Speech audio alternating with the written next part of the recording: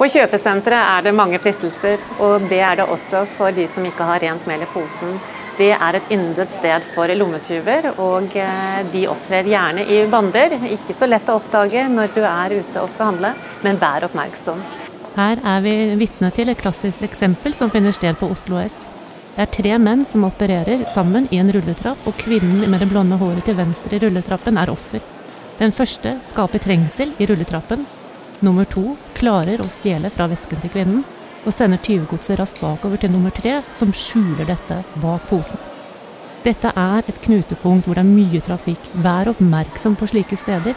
Og er det en trengselssituasjon, vær veldig oppmerksom på vesken din.